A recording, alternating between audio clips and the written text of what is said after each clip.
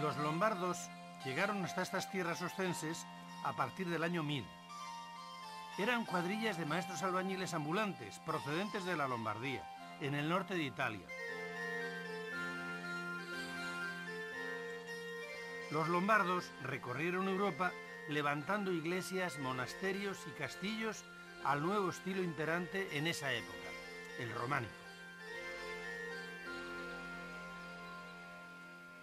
Manolo, ¿qué se les pierde a los lombardos en el Sobrar?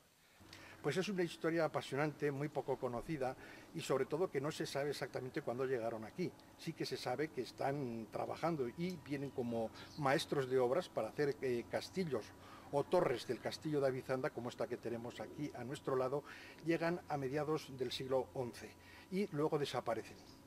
¿Qué aportan los lombardos? Pues aportan sobre todo un modo de construir totalmente nuevo, eh, basado en la utilización de la bóveda de medio cañón, que saben aparejar muy bien, de tradición auténticamente romana.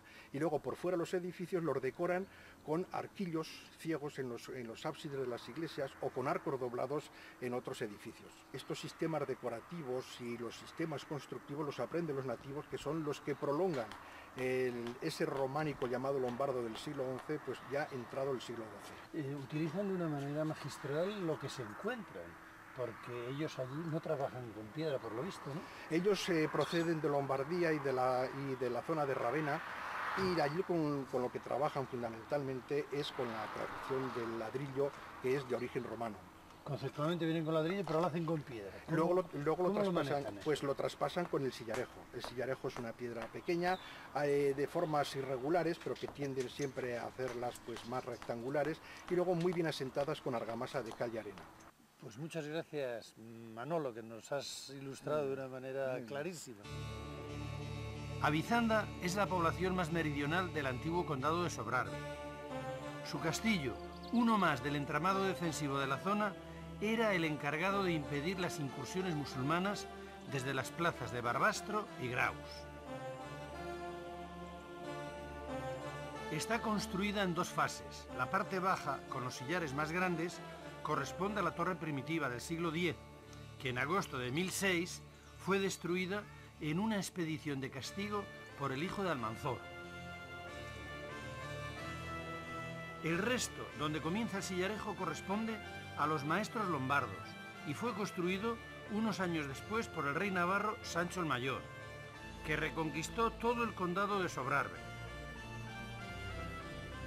La torre de Avizanda es de planta rectangular, tiene 24 metros de altura y 5 plantas.